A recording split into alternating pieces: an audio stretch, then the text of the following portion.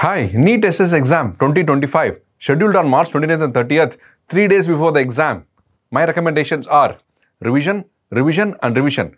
Go through all the PowerPoint slides in the Speed Learning app for all the videos that you have seen earlier. The next recommendation is to give as many GTs as possible. In my experience, learned through previous toppers that they have given minimum of 5 GTs 3 days before the exam. So totally they have given 15 grand tests and of that 2250 questions they have given of 150 questions each but they have not worried about the ranks in the GTs because it's only for a learning module. Then after that, they gone for the exam. It gave lot of self-confidence, lot of energy and lot of clarity in answering all those 150 questions in the actual exam.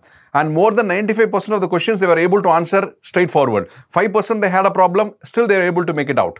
Stay focused, give maximum amount of time, 18 to 20 hours per day. Be energetic, be enthusiastic, be motivated, feel high. You're going to win, you're going to win, and you're going to win. And you're going to win this exam and going to secure topmost rank, your specialty of your choice and your institution of your choice. Believe in yourself, be self-confident, and you can do it. On behalf of all the faculty members and team of Speed, I wish you all the very best for a great preparation and a great successful exam ahead.